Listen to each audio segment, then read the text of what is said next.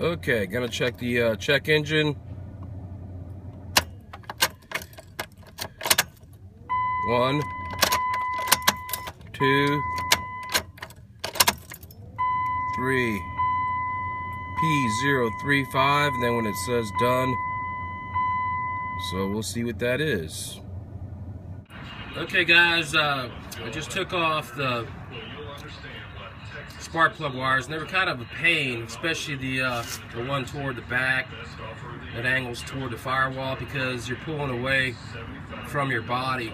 Anyway, I bought a special wrench or pliers to pull them off. That didn't work. I actually had to use my hand. But anyway, there's a heat shield there. What you got to do is buy a special socket that's 5 8 that's skinny enough to go down in there like that.